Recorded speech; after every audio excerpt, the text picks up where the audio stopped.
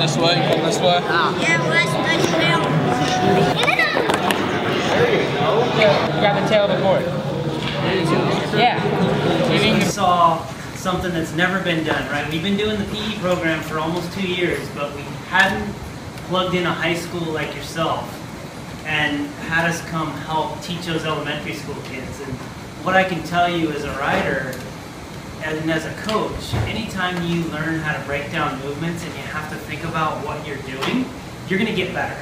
So I guarantee you, if you spend time with kids coaching whatever it is you're coaching, you will get better at whatever task, whatever sport, whatever activity. I would say to all of you, if you can do something you love, you'll never work a day in your life. I mean, it's just that easy. And, and you know, but once again, you got to create those opportunities. You have to get after it. You have to give yourself a competitive advantage. And, and some ways you can do that, internships are great.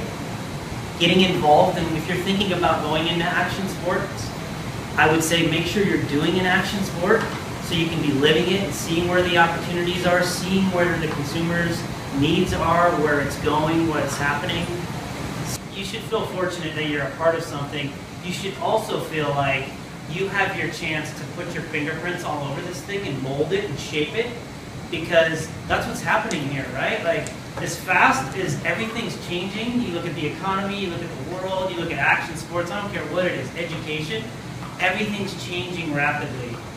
And you have an opportunity in high school to be shaping something that chances are is going to change the way high schools look at education, change the way action sports opportunities may come about,